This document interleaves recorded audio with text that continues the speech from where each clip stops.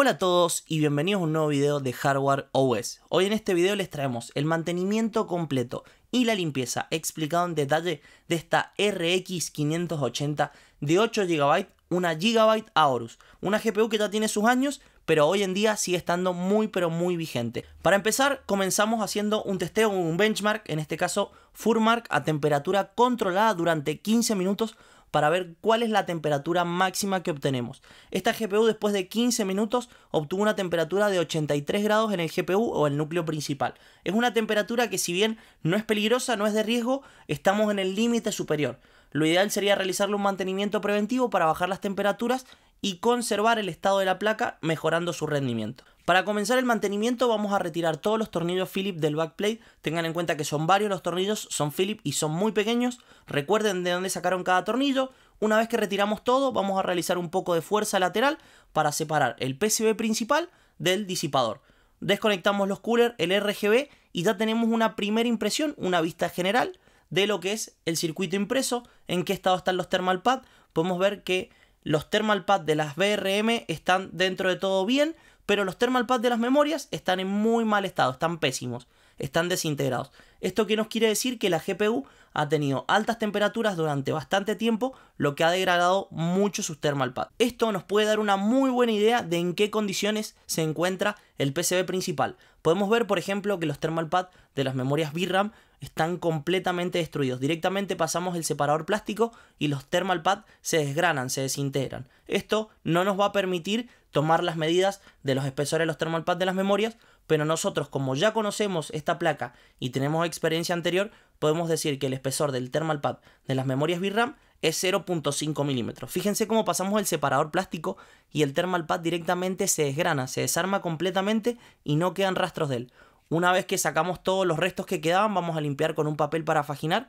En este caso estamos usando papel de la marca Elite y alcohol isopropílico. También vamos a retirar la pasta térmica seca del centro del chip principal y comenzamos con la toma de medidas de los thermal pads. Este es un paso importantísimo ya que tenemos que estar 100% seguros de que las medidas que vamos a colocar en los thermal pads son las correctas. Por suerte, esta placa no nos va a presentar grandes complicaciones ya que no tenemos mucha cantidad de medidas, tenemos solamente dos medidas para los thermal pads del front. Tenemos, en este caso, justo estamos midiendo los thermal pads de los MOFET, de las BRM y tenemos un espesor de 1.5 milímetros, al igual que las bobinas en las BRM.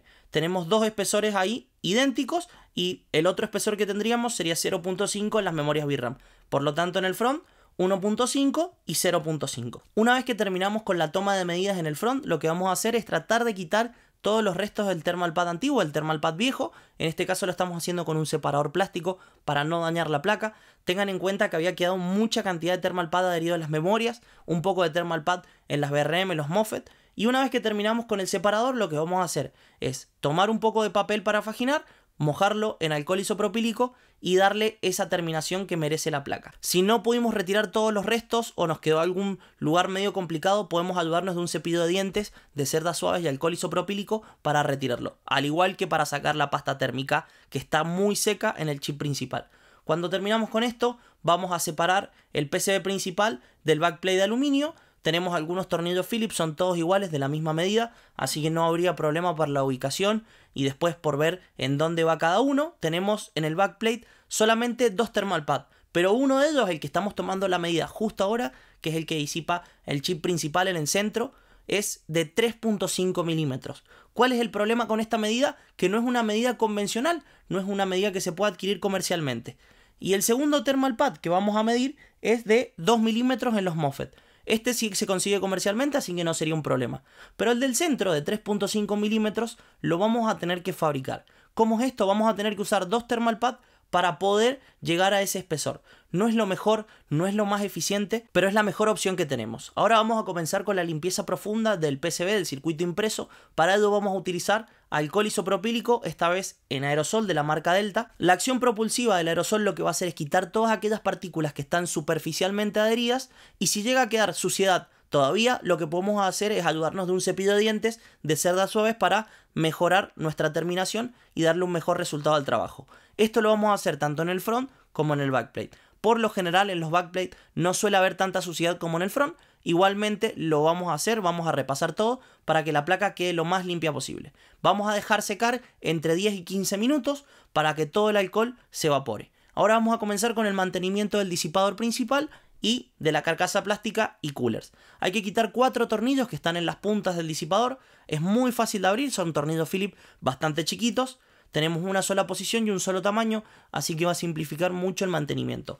Una vez que retiramos los cuatro tornillos, podemos separar la carcasa plástica del disipador. El disipador está en bastante buen estado, tenemos algo de tierra, pero no es nada grave. En estos modelos está muy buena la parte que vamos a mostrar a continuación, ya que quitando estos cuatro tornillos podemos separar una moldura metálica del disipador principal. Esta moldura lo que hace es brindarle disipación o soporte a las memorias VRAM con el disipador principal. Nosotros lo que vamos a hacer es hacerle un pequeño mode, vamos a poner pasta térmica en el disipador principal para mejorar la conducción térmica entre la moldura metálica y el disipador. Esto parece una tontera, parece algo súper obvio, pero de fábrica no tiene nada más que la presión de los tornillos para conducir el calor de la moldura al disipador. Por lo tanto, una vez que nosotros apliquemos pasta térmica, va a mejorar mucho la conducción térmica de las memorias VRAM. En la carcasa y en el disipador principal vamos a pasar un cepillo para eliminar todo el polvo que puedan tener superficialmente adherido. Ahora les vamos a mostrar una parte del proceso que por lo general nosotros damos por sentado, pero es muy muy importante. Esta placa estuvo en reposo unos 15 minutos para que se terminara de evaporar el alcohol isopropílico. La miramos y a simple vista la placa está completamente seca, pero cuando introducimos aire con un soplador manual por debajo de las memorias, por debajo del chip principal, por debajo de los MOSFET, BRM, fíjense la cantidad de alcohol isopropílico que sale. Esta placa lleva 15 minutos al aire secándose y nosotros al introducir aire por debajo de los componentes sale mucha cantidad de alcohol. Esto pasa tanto en el front como en el back. Por eso es importante no solamente dejar reposar la placa para evaporar completamente el alcohol, sino utilizar o ayudarnos de algún soplador, algún secador, alguna pistola de aire para quitar completamente el alcohol isopropílico de la GPU. Ahora vamos a comenzar con el mantenimiento de los coolers. Retiramos los tornillos que fijan el cooler a la carcasa plástica, en este caso tenemos tres tornillos, y vamos a comenzar a separar el rotor del estator. Para ello vamos a utilizar dos separadores, uno plástico y uno metálico. Vamos a introducir uno de cada lado, vamos a realizar un poco de presión lateral y así de fácil debería separarse el rotor del estator tengan mucho cuidado con la fuerza que realizan, ya que estos coolers son muy sensibles, son muy delicados y se pueden romper fácilmente. Pueden arrancar una bobina, pueden romper el rotor. Una vez terminado, una vez separado el cooler, lo que vamos a hacer es limpiar con el papel para faginar y alcohol el rotor. Vamos a limpiar entre las aspas y en el imán permanente donde se junta muchísima cantidad de suciedad. Una vez terminado el rotor, lo que vamos a hacer es un pequeño rollito de papel mojado en alcohol isopropílico y limpiar en el centro del estator. ¿Dónde vamos a limpiar? En el buje. En este caso es un buje plástico. Lo que vamos a hacer es quitar todo el lubricante anterior, lo vamos a quitar por completo para evitar cualquier posible interacción química entre el lubricante anterior y el lubricante que vamos a colocar ahora. Cuando tenemos todo listo, vamos a lubricar, vamos a proceder a colocar una pequeña gotita de aceite en el centro del rotor y una gotita en el centro del buje del estator. Esto va a mejorar muchísimo la velocidad del cooler, el aire que ingresa al disipador, va a bajar el ruido también y va a alargar la vida útil del cooler. Esto es muy importante. ¿Qué tipo de aceite vamos a utilizar? En este caso, y como siempre utilizamos en el canal, vamos a utilizar aceite de la marca Molicote, con agregado de molibdeno. Es el Molicote antifricción y antidesgaste. Si no poseemos este aceite o no lo podemos encontrar o comprar, ¿qué tipo de aceite vamos a comprar? Aceite mineral, sí o sí liviano, de una baja viscosidad, con agregado de molibdeno para disminuir la fricción entre los materiales y alargar la vida útil. Es muy muy bueno este tipo de aceite, así que si no conseguimos molicote, antifricción y antidesgaste, podemos utilizar otro aceite sin ningún tipo de problema, pero que tenga estas características.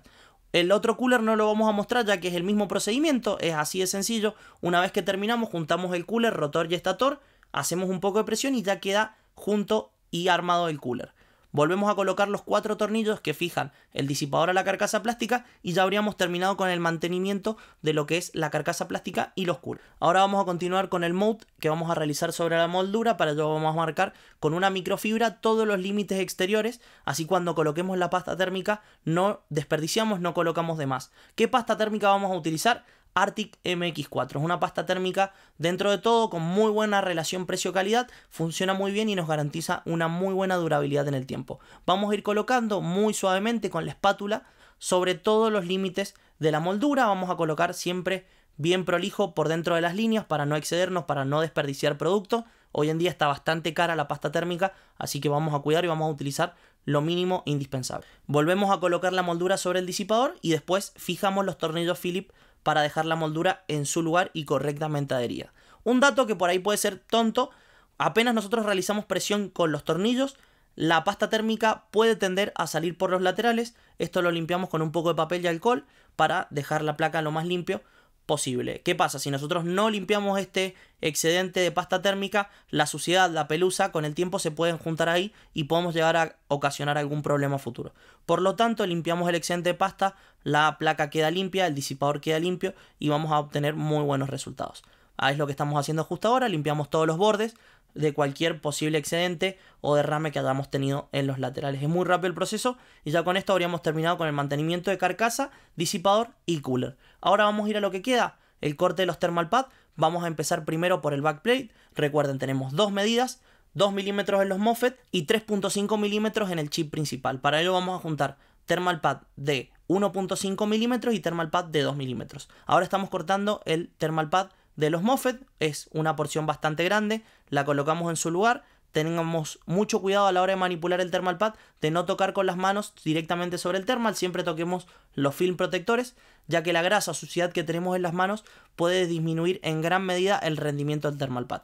Ahora lo que estamos haciendo es cortar el primer cuadrado, el primer rectángulo del chip principal, cortamos primero los 2 milímetros y luego cortamos el 1.5 que vamos a colocar sobre el thermal de 2. Así tenemos los 3.5 milímetros. También, mismo cuidado que el thermal pad anterior, tratamos de no tocar con los dedos sobre la superficie del thermal, retiramos los film protectores y volvemos a armar. Colocamos los tornillos Philip en su lugar, recuerden, tenemos un solo tipo de tornillo, un solo tipo de largo y paso, por lo tanto podemos colocar cualquier tornillo en cualquier lugar.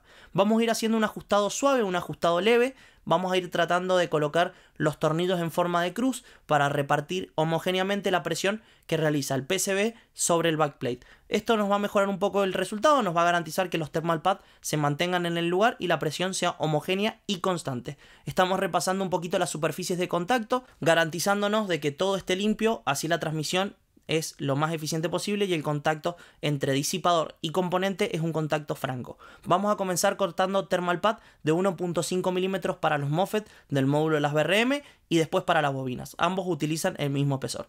Cuando terminamos con esto, comenzamos con las memorias VRAM 0.5 milímetros. ¿Qué thermal pad vamos a utilizar en esta placa? Nosotros en el taller utilizamos como calidad mínima para todos nuestros mantenimientos Gelid en el modelo Ultimate. Tenemos una constante de disipación bastante, bastante buena, 15 Watt MK, que es más que suficiente para esta GPU, pero lo más importante es que Gelid nos garantiza una muy buena durabilidad en el tiempo y que con el pasar de los meses no va a liberar aceite, que esto es importantísimo.